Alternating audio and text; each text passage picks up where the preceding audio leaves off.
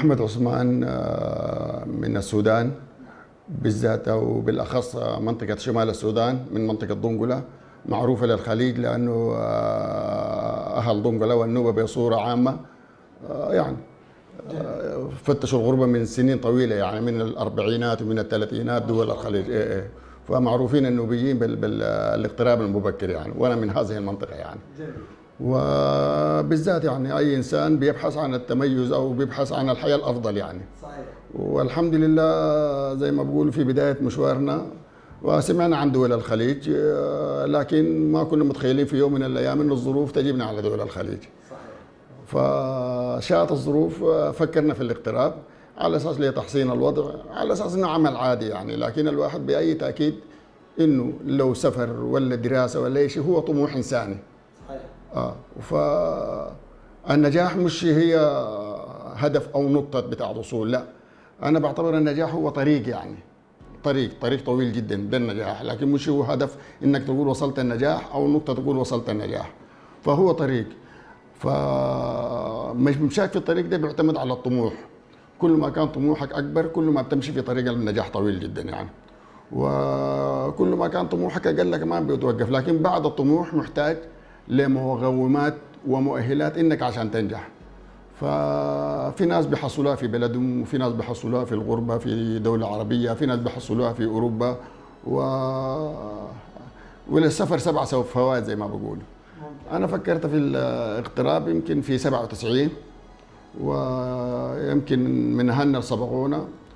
دولة قطر رغم أنها كانت صغيرة جغرافيا لكن سمعتها كانت واصلة ال ال إيه واصلة. وكان اختيارا لدولة قطر لأن معظم الأهل هنا موجودين في دولة قطر. حلو آه، وجيت 97 كمهنة عادية على أحد أفراد الأسرة الحاكمة. نسأل الله إنه يمد الله في عمره ومشكور عملنا معاملة جميلة. ويمكن ده خلاني إنه أثق في أهل البلد وأثق في البلد إنه هي ال- الاتجاه الصحيح يعني. صحيح.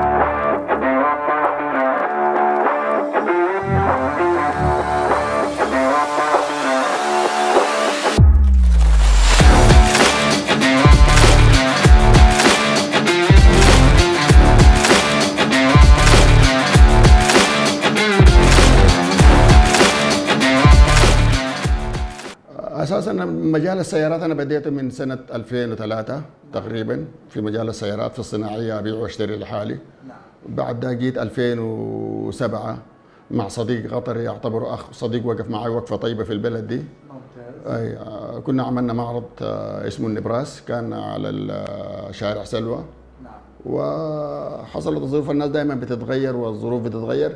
أسست شركة التفرد للتجارة والخدمات آه، 2016 ممتاز أي فيها مجالات عدة. أكثر مجال كنت بشتغل عليه مجال السيارات والمجال الثاني مجال الضيافة والتنظيفات. حلو. أي موجود فيه. بديت فوقه لكن جات الأيام بتاع سنة 17 و18 19 كنت وقفته على أساس إنه اللي قدام الناس تطور نفسها وتمشي فيها لأنه ذاتها عندها أبعاد ثانية ممكن الناس تطور فيها في المجال ده. لكن آه، مجال السيارات آه، آه، مجال يعتبر آه، من لب الاقتصاد في جميع دول العالم. لكن آه، داير الناس آه، تشتغل فوقه بطريقة ممنهجة وطريقة علمية وهي عبارة عن آه، سلسلة حلقات. يعني حلقة المعرض مربوطة بحلقة وزارة الاقتصاد مربوطة بحلقة وزارة الداخلية مربوطة بالحلقات الفنية بتاعت الفحص الفني بتاعت الشغلات زي دي. لو الناس اتقيمت وعملت شيء بشيء مدروس آه، ممكن قطر تكون بورصة سيارات العالم لأنه قطر مشهورة بأنه آه، في المواصفات بتاعت السيارات إن مواصفات سياراتها مرغوبة بالذات لأهلنا في دول الخليج يعني. والله بالذات ال- ال- ال- ال- المجال العملي اللي هو خدمة المعارض أساسا خدمة آه، بيع وشراء سيارات مع تأمين الحقوق للشاري وللبايع وللدولة في حد ذاتها. عشان ما تحصل مشاكل إنه أكيد لما يكون في معرض بيقدر بيقيم السيارة بقيمتها الأساسية آه، بيحفظ حق ال- الشاري لما يدفع فلوسه بياخذ إيصال عرف دفع فلوسه وين. ال- المشت... البايع برضه بيكون عارف إنه حياخذ فلوسه منين. يعني دي ال- الحاجة ال- ال- ال- الشغل الأساسي بتاع المعارض. لكن آه، لو يوم من الأيام سمحت لكم الظروف نحن نتمنى إنه بالذات سوق السيارات آه، أو الاقتصاد بالذات تكون عندها تكاد تكون المفترض تكون عندها غناء إعلامية نعم. مختصة. لأنه سوق كبير جدا لكن الناس بتعاني من مشاكل كثيرة جدا فيها لأنه كل الحلقات ما متواصلة مع بعض. إيه. وما دايرين نقول يعني مثلا في أرزاق الناس يعني ما دايرين نقول شغل السيارات إنه تكون مهنة من لا مهنة له يعني. دي دي دي الحتة الوحيدة اللي يمكن ال- اللي بتصعب شوية في شغل السيارات. وغير كده المواقع الإلكترونية. المواقع الإلكترونية والمواقع مواقع التواصل الاجتماعي آه، هي سلاح ذو حدين. فيها الجانب الإعلامي لكن فيه الجانب السيء لأنك آه، المعارض زمان هي اللي كانت بتتحكم في أسعار السيارات أو هي كانت هي ال- ال- اللي بتقيم سعر السيارات. لكن دلوقتي لا.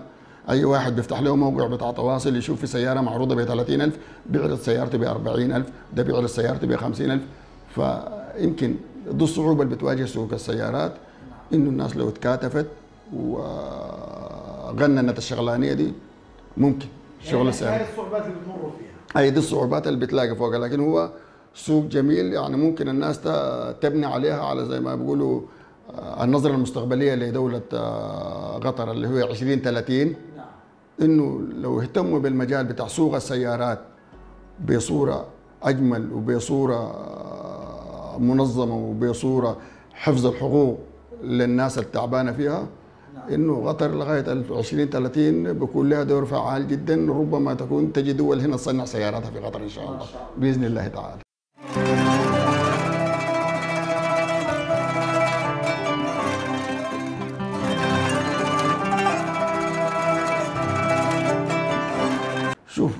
ما في تقدر تقول لنفسك إنك متميز في شيء. نعم لكن أي شخص أو أي معرض له بصمته في السوق. صحيح. إيه. يعني آه، ممكن واحد ينتظر آه، معرض يكون داير له سيارة وينتظر إنه لازم يشتريها عن طريق معرض التفرد. ما يتعامل معه. ينتظرك أسبوع أسبوعين ثلاثة أسابيع لغاية ما أنت تجهز له السيارة لأنك أنت أديته الأمان. كل ما أديت الأمان للبائع وكل ما أديت الأمان للمشتري وكل ما كنت صادق في في سلعتك نعم دي بتكون البصمة ونجاح بالضبط كده نعم.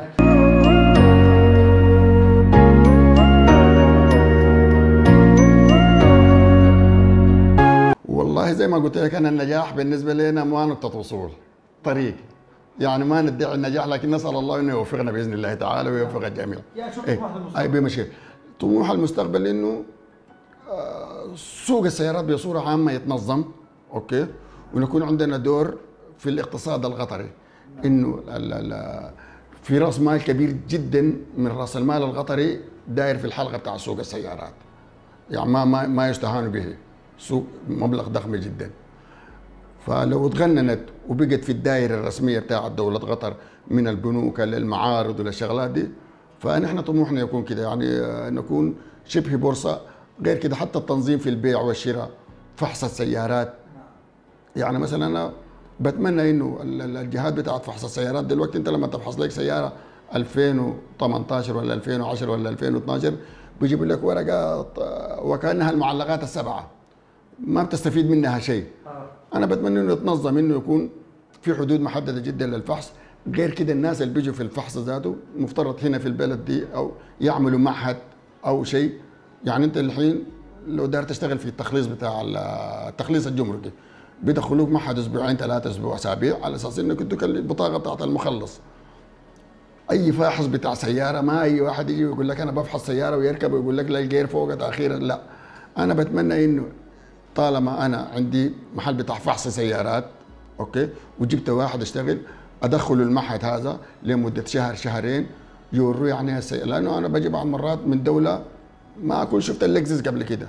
شو اللي عرفنا عشان افصح افحص لي gear بتاع اللكزس ولا مكيف بتاع اللكزس إنه يكون في شيء مقنن. داير تشتغل في المجال ده يكون في معاهد إنك آه، تقرأ فيها إنه التكييف الشاسي الماكينة شغلات ستة ولا سبع حاجات من حاجات أساسية. وما في مدخل سيارة تدخل آه، معرض يدخل سيارة المعرض ما لما السيارة تكون مفحوصه والفحص مدقوق على الزجاج. إيه يعني أنا كمشتري أجي داخل المعرض بسلم على راعي المعرض وببص على السيارة.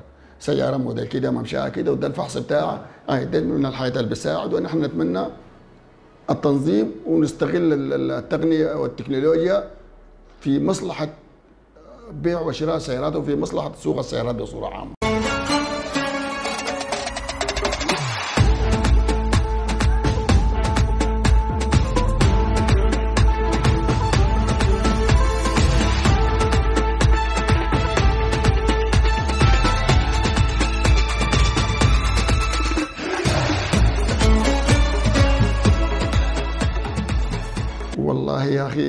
حاجة زي ما بقول ما نشكره مثلا على مش للشكر يعني لا. أي إنسان لو ما هو راجع لبيته بالذات سوق السيارات أو بالذات السوق بصورة عامة بتتعرض للتوتر بتتعرض لإنه يجيك زبون يسمعك كلمة ياها. ممكن الخسارة. ممكن الخسارة ممكن السيارة ما تبيع. لو ما عندك الزوجه متفهمة نوع شغلك ممكن ترجع البيت الساعة 11 بالليل. ممكن التلفونات ما بتسكت في الليل ممكن تكون موجودة معك تلفونك على مدار ال- الساعة. ناس متصلين عليك من السعودية ما بتنزعج من شغلة زي دي. فله دور فعال جدا إنه الواحد بيروح البيت بيلقى جو هادي وبيلقى ناس متفهمين شغله يعني. نعم امتثالا لحديث الرسول صلى الله عليه وسلم من بات آمنا في سربه معافى في جسده عنده قوت يوم كما حيزت له الدنيا يعني دي بصورة عامة متوفرة في قطر والحمد لله ونسأل الله أن يديمها عليها وعلى شعبها وعلى حكومتها ده رقم. واحد. رقم اثنين من الصورة من الصورة العامة بالنسبة للاقتصاد أهم شيء في الاقتصاد نعم. ثبات العملة أنت في قطر العملة ثابتة يعني ممكن تناقش تت- تتعامل مع واحد في أمريكا ممكن تتعامل مع واحد بالاسترليني ممكن تتعامل مع واحد بالريال السعودي لأن العملة بتاعتك قوية وثابتة دي المرحلة الأولى الاقتصاد المرحلة الثانية ال- ال- ال- البيئة القطريه أو الإنسان القطري في حد ذاته. الإنسان القطري صدوق آه، مؤمن آمن زي ما بيقولوا. نعم. آه، يعني بيديك الأمان على أساس إنك تقدر تشتغل. يعني يعني يعني حتى المجتمع القطري في حد ذاته مجتمع آمن. وأنا بنصح المستثمرين لو في ناس سمعونا خارج قطر إنه قطر دولة آمنة للاستثمار بأي شكل من الأشكال. أول حاجة الشكر للامير الوالد آه، الشيخ حمد هو واضع اللبنة الأولى آه، بالنسبة لنهضة قطر وواصل في طريقه الابن الشيخ آه، تميم بن حمد أطال الله في عمرهم ونشكرهم كثيرا والشكر في حقهم. زي ما بيقولوا من غصى ما ما نقدر نديهم حقهم. حقيقة أن نحن جينا في البلد دي أنا لي قريب ال 27 سنة. إلا غير لما نشوف جوازي ما بحس إنه مثلا نحن بر- برا البلد هذا. إيه والله العظيم. فماخذين حقنا بالكامل. آه، متساويين أمام ال- آه، القانون. آه، يعني رأس المال رغم إنه جبان زي ما بيقولوا لكن لا. أنا كل ما اتاحت لي لو ربنا رزقنا برأس المال ال- ال- ال- ممكن الناس تتحدث عليه على أساس إنه رأس مال آه، ما في غير دولة قطر انه الواحد يستثمر فيها إن شاء الله أو يستثمر باسمها في دولة ثانية